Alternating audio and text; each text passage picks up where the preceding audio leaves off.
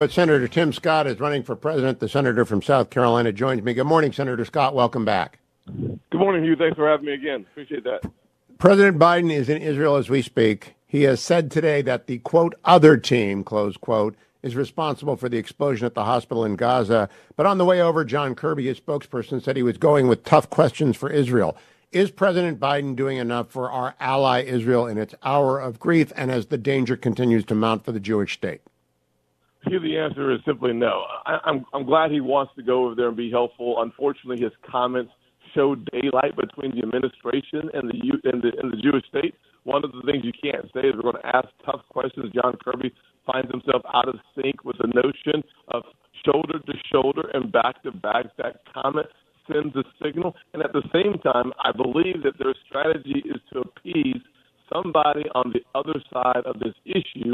And unfortunately, what we've seen is Abbas says PA, we're not meeting with them. Uh, Jordan, questions. What we're starting to see is the weakness of this American president has been felt and it is reverberating around the Middle East. That is bad news for shoulder to shoulder and no daylight. I've said it before, Hugh, and I'll say it again. I find the Biden administration to be complicit. It's the weakness on the global stage that invites attacks.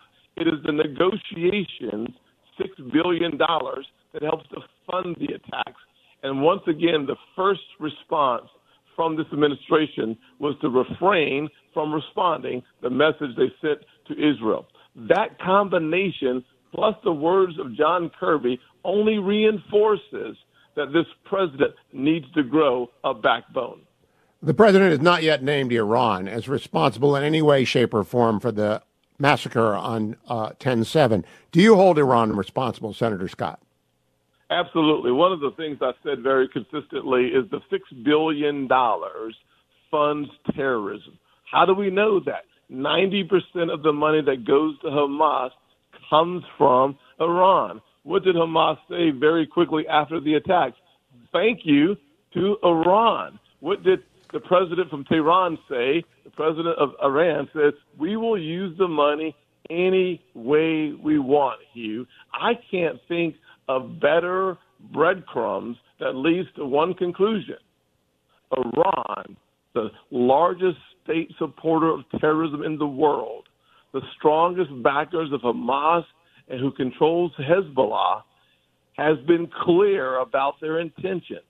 Hamas and their doctrine is not simply to wipe Israel off the map. It's to eliminate every Jewish person on the planet, and they hate Western democracy. All that links back to the ability to have the resources from Iran to carry out these devastating, disgusting, evil attacks. Now, Senator Scott, you're running for the nomination against a, a, field of people that have a lot of national security credentials and against a former president who was you know, commander in chief for four years. How are you going to distinguish your ability to handle these crises versus their ability and Joe Biden's ability to handle these crises?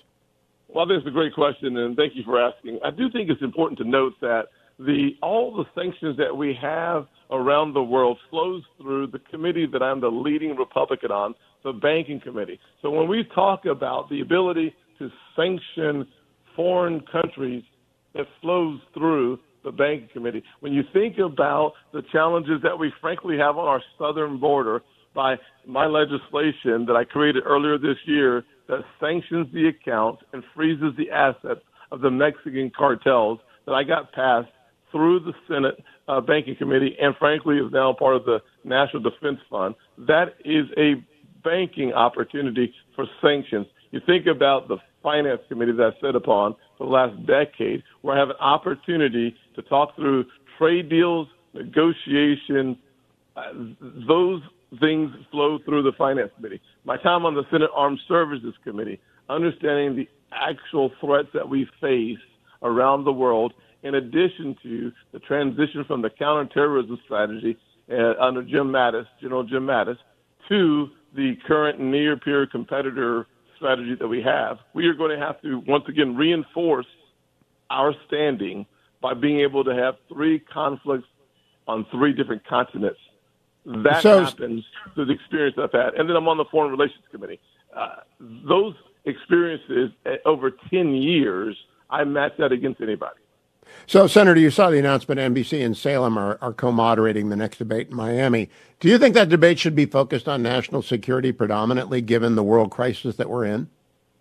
There's no doubt that it should be a serious part of our debate. Probably half the time that we spend should be where we are from a national security standpoint, from our southern border to the three conflicts that we're going to have to be prepared for, whether that's in the Indo-Pacific, the Middle East, Eastern Europe. Frankly, we have real challenges in South America. We're seeing socialism spread like a cancer.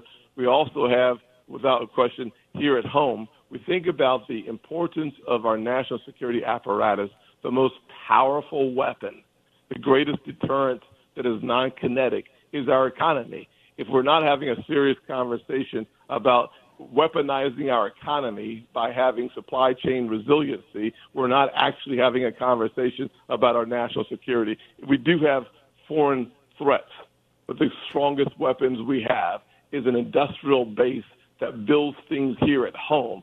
Not understanding that, you miss the actual picture of national security. Senator Tim Scott, thank you for joining me. Vote Tim Scott is his website, votetimscott.com. Senator, to keep coming back. I appreciate your making time this morning in a busy schedule.